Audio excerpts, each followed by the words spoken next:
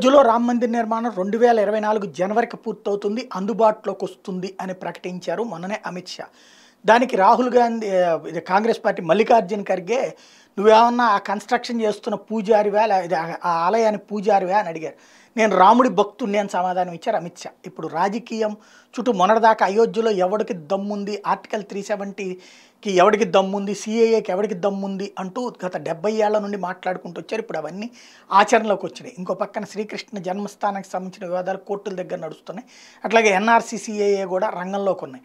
అలాంటి సిచ్యుయేషన్లో ఇప్పుడు అయోధ్య రామాలయ నిర్మాణం అయితే మాత్రం పర్ఫెక్ట్గా జనవరి ఒకటికి పూర్తి కాబోతుంది. రెండు వేల వచ్చే ఏడాది జనవరి ఒకటి నాటికి పూర్తి చేస్తామని చెప్తున్నారు. అయితే అక్కడ త్రేతాయుగం ఫీలింగ్ తీసుకురావడానికి ప్రయత్నిస్తున్నారట.